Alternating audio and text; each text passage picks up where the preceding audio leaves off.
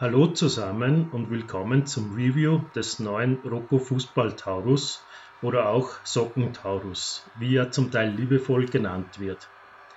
Wir sehen uns das Design genauer an, rüsten Sound- und Energiespeicher nach und sehen die Lok natürlich auch in Aktion.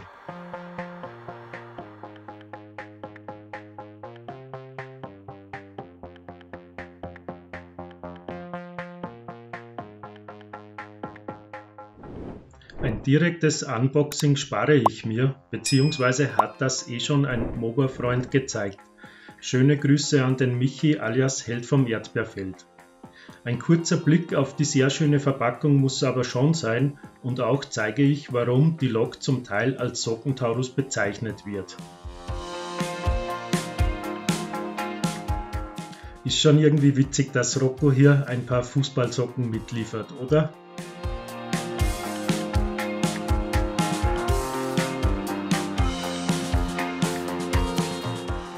Es handelt sich bei der Reihe 1116-212-2 um eine typische Railjet-Lok. Sofort erkennbar am roten Schneeräumer und an der einen Seite sind die Pufferbohlen zur Hälfte silber gefärbt. So deckt sich die Linie mit dem Railjet-Design. Interessant, die Lok hat drei Stromabnehmer. Ich habe es jetzt nicht geprüft, aber ich vermute für den Einsatz in der Schweiz.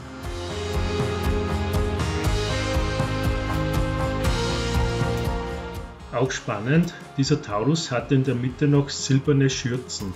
Das wäre mir bisher noch an keinem Rokotaurus aufgefallen und hat auch sonst keiner der 15 Tauren, die ich in meiner Sammlung habe.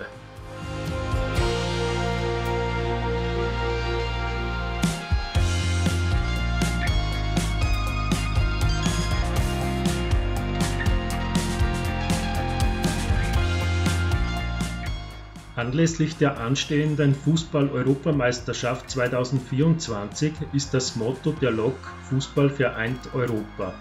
Und dies spiegelt auch das sehr ansprechende moderne Design von Markus Huber aus Salzburg wider.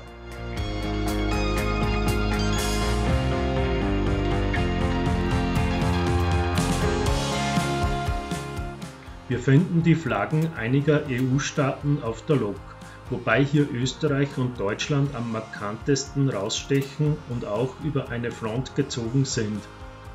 Auch die Konturen von Spielern kann man erkennen. Die andere Front greift die Symbolik der EU auf. Auch das weiß mit den Sternen zu gefallen. In sich ein sehr stimmiges Bild, ich finde super und denke, es wird einer limitierten Auflage gerecht.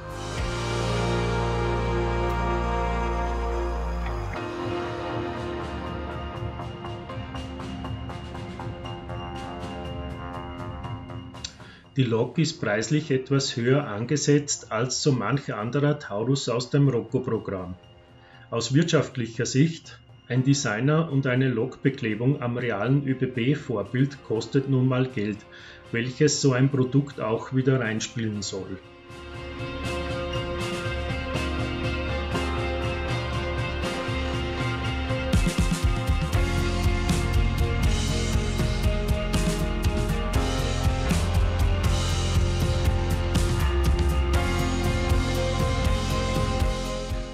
Da ich schon so einige Zimo Sounddecoder der Reihe 1116 im Einsatz habe, entschied ich mich für das analoge Modell. Diese rüste ich selbst mit passenden Energiespeichern und Lautsprechern aus, analog zu den Rocco Sound Ready Modellen.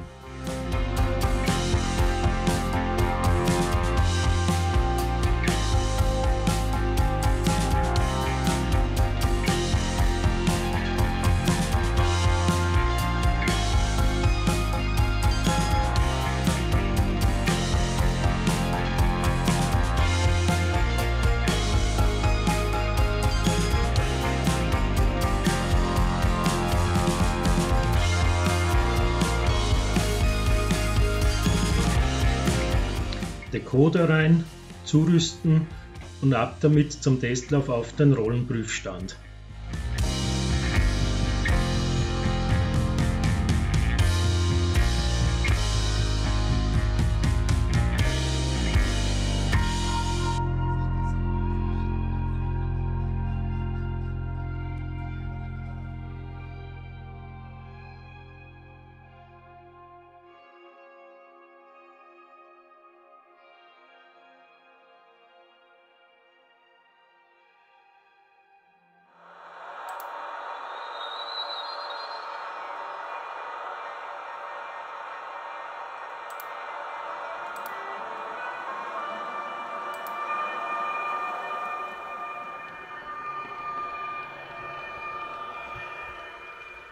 Wir starten im Fernverkehr, da wo typischerweise so eine Railjet-Lok eingesetzt wird, nämlich vor einem Railjet.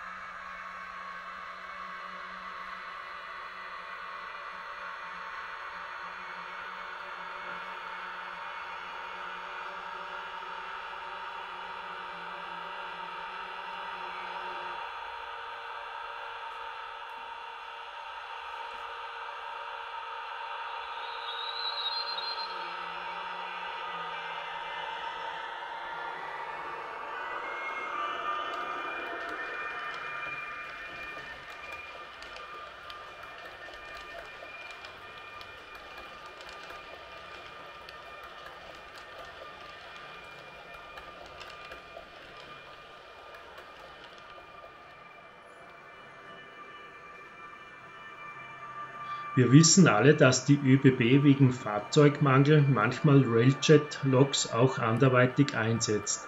Somit zeige ich als Variante 2 den Einsatz im Güterverkehr. Hier in Doppeltraktion mit einem schönen, langen, gemischten Güterzug.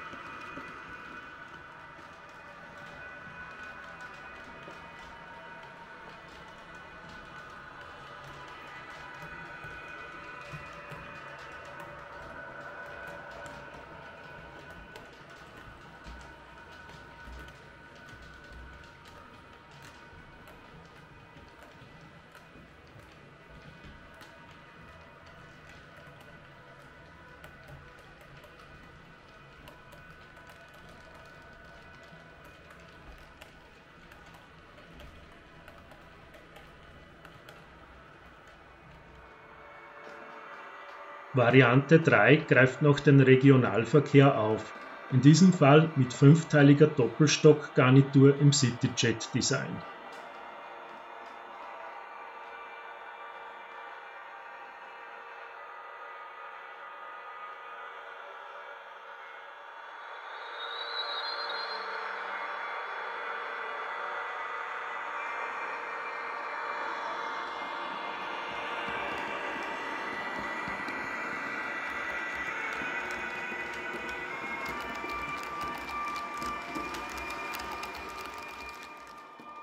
Die Lok macht in allen gezeigten Varianten eine sehr gute Figur.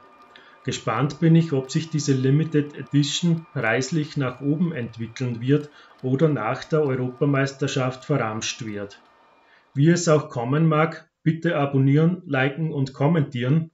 Ich sage danke und bis zum nächsten Mal.